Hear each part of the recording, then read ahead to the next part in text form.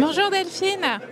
Donc euh, vous êtes à nouveau dans euh, les top joueuses ADR Arkema. Donc vous êtes l'équipe type de l'ADR Arkema. Vous avez pu obtenir un trophée euh, de, plus ce soir. Vous n'êtes pas trop déçu non, pas déçu. Caddy le mérite totalement avec la, superbe saison qu'elle a fait avec le Paris Saint-Germain. Donc voilà, et donc c'est bien pour elle et voilà, ce sera pour une prochaine fois, j'espère.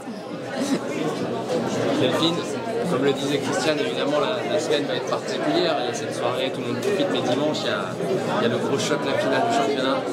Oui, c'est le, match qu'on attend euh, tous. Euh, voilà, le, choc de la, de la D1 On, est prête pour ça. Euh, je pense que déjà d'avoir gagné la, Coupe de France, ça nous a vraiment réconforté et ça nous a vraiment, comment dire, ça, ça, semble être de bon augure et pour la suite et, ça nous a mis en confiance pour, euh, pour le championnat. Après, on sait que ça va pas être facile.